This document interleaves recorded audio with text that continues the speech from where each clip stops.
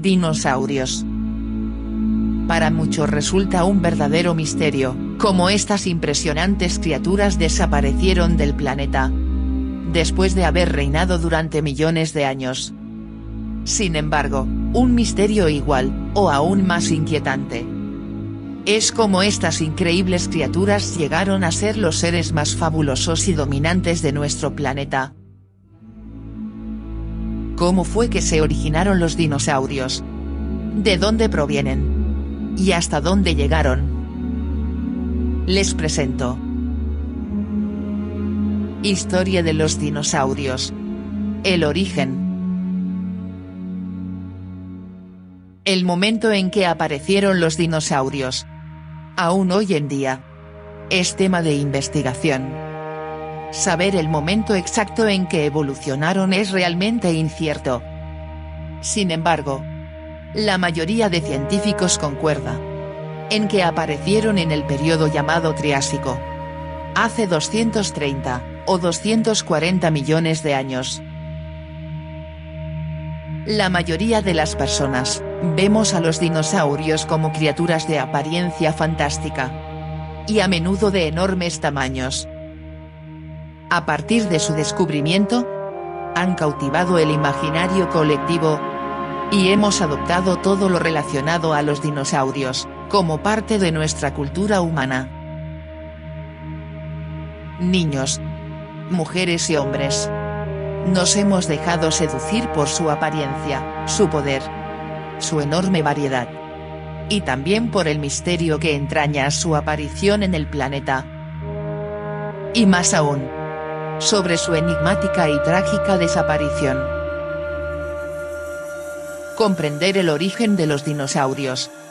Es comprender también, que la vida en la Tierra ha sido un vaivén de cambios.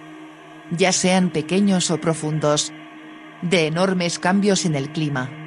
La atmósfera, y la corteza terrestre. Cambios que se fueron dando muy lentamente en el transcurso de millones y millones de años. Retrocedamos ahora en el tiempo. Aproximadamente unos 370 millones de años. Algunos peces que poseían aletas lobuladas. O también llamadas, aletas carnosas. Evolucionaron para convertirlas en patas con dedos. Estos raros peces recibieron el nombre de tetrápodos. Y fueron los primeros anfibios en abandonar el agua hace unos 350 millones de años. Los primeros tetrápodos conocidos son el Ictiostega, que poseía siete dedos. Y el aún más antiguo, el Acantostega, que poseía ocho dedos. Estos anfibios, a diferencia de los peces de los que procedían, podían respirar oxígeno a través de sus pulmones pasaban algún tiempo en tierra, tomando sol. Y luego volvían al agua. Para refrescarse. Buscar comida y reproducirse. Además de poner allí sus huevos. Que eran blandos al igual que de los peces.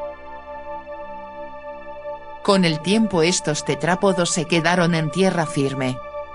Y ya no pusieron sus huevos blandos en el agua.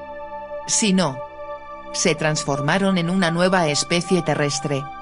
Que ponía sus huevos recubiertos de un cascarón duro. Estamos hablando de los primeros reptiles. Ahora ya estamos ubicados 320 millones de años en el pasado. Uno de esos primeros reptiles, fue el Solenodonsaurus. Cuya morfología, es difícil de distinguir con un tetrápodo anfibio. Podríamos ubicar a los ancestros de los dinosaurios en el Carbonífero hace más o menos unos 300 millones de años. Todos los continentes de la Tierra están unidos en un único y enorme continente llamado Pangea.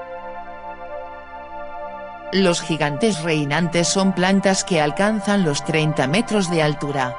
Y artrópodos enormes. Como mil pies de 2 metros y medio. y monstruosas libélulas de un metro de ancho.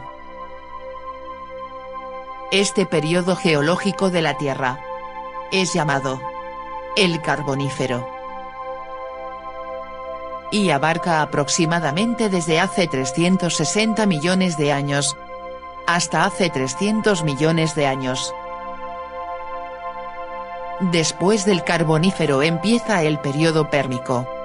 Y es justamente entre el final del Pérmico y comienzos del Triásico, hace 252 millones de años, que se produce el evento de extinción y destrucción, más devastador que la Tierra haya conocido. Se le llama la gran extinción del Pérmico Triásico. O también la madre de todas las extinciones masivas. En ella desaparecieron aproximadamente el 96% de todas las especies marinas.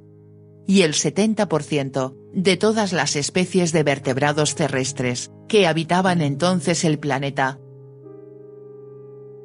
Por ejemplo, del océano se extinguieron todos los trilobites, todos los amonites, y todos los eurípteros. Del medio terrestre se extinguieron la mayoría de anfibios y reptiles.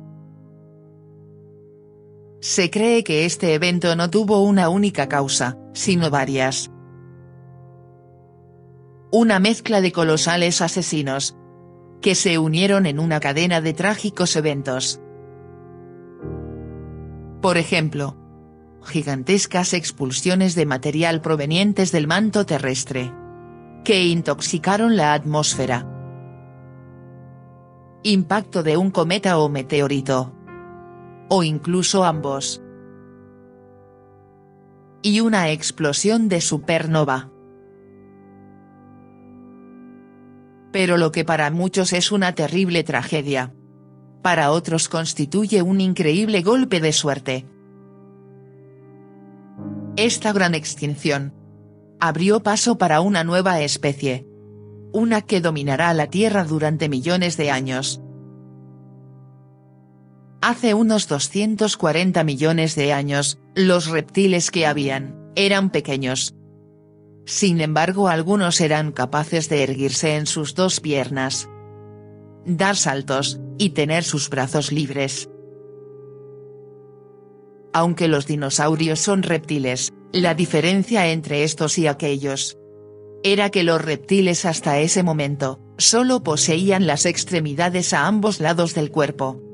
Y eran de sangre fría. Los dinosaurios que evolucionaron de los reptiles. En cambio. Tenían sus patas debajo del cuerpo. El cuello erguido.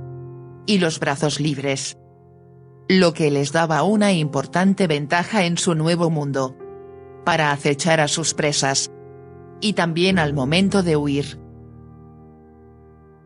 Además posiblemente tenían sangre caliente. Los dinosaurios entonces evolucionaron de los reptiles que sobrevivieron a esta gran extinción del Pérmico Triásico. Los primeros, eran pequeños dinosaurios de 50 centímetros de altura. Que caminaban y corrían en dos patas. Y según los teóricos de la evolución. Aparecieron hace 240. O 230 millones de años. A partir de allí dominarán la Tierra durante 150 millones de años. Y no se volverá a saber de ellos hasta 65 millones de años después de su extinción. Cuando una extraña raza de primates, con un potente y evolucionado cerebro, los devuelva a la vida. Mediante el estudio, la imaginación, y también la tecnología. Muchas gracias amigos, si te ha gustado el vídeo dale pulgar arriba. Y no olvides suscribirte a mi canal.